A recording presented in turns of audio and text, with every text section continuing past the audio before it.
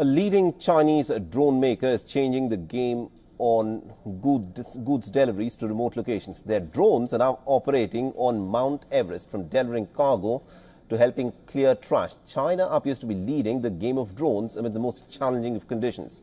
The Chinese drone maker DJI is in the process of roll, carrying out drone deliveries on Mount Everest. The DJI Flycart 30 is a long-distance heavy lifter drone that's been flight tested on Mount Everest. It can fly to a height of more than 6,000 meters, that's over 19,600 feet. It can carry 30 kilogram of loads. Even with a full load, it can fly for up to 16 kilometers.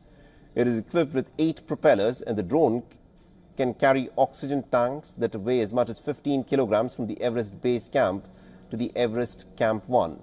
According to the firm, the drone is tested to operate in some very hostile weather from minus 20 degrees Celsius to 45 degrees Celsius. To top it all, it can fly at a speed of 72 kilometers per hour.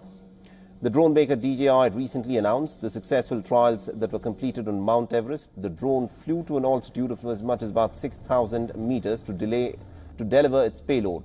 And on its return journey, the drone brought back 15 kilograms of trash. Theoretically, helicopters are capable of operating in such regions, but the costs and the risks of operating helicopters are manifold. Now, drones offer various advantages, rapid deployment, use case in emergency scenarios and also live video streaming in the long run. Now, both DJI and the Nepalese authorities feel that these battery-powered drones could lessen the burden of the Sherpa community. Besides also cleaning up the mountain that's got the moniker of the world's highest garbage dump.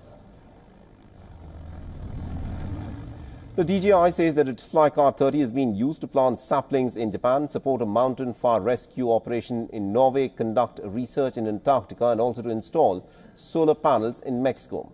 Many, though, have raised concerns about the potential military use of these drones.